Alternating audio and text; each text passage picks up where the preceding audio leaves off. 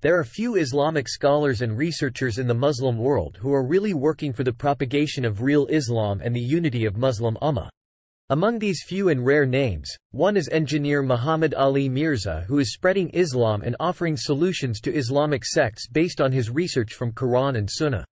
Engineer Muhammad Ali Mirza is a famous Islamic scholar, researcher, and preacher. He is the founder of Quran o Sunnat Research Academy, Jhelum. Anger. Ali Mirza is also serving as General Manager, BPS 19, in the Defense Ministry, Government of Pakistan. He was interested in Islamic education. Therefore, he began reading different Islamic books, and after comprehensive studies, he started delivering video lectures in front of a limited audience.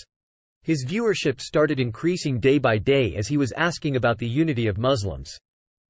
His bayans and lectures are very popular among youth. Rather than preaching the message of any sect, he likes to invite all sects of Muslim Ummah on the basis of the Quran o Sunnah, Ijma, and Faham of Salaf. His points of view on various topics are backed by the Quran o Sunnah. Muhammad Mirza is against the takfir of any Muslim. One distinguishing quality of engineer Muhammad Ali Mirza is that he doesn't hesitate to appreciate the work of any Islamic scholar of any sect.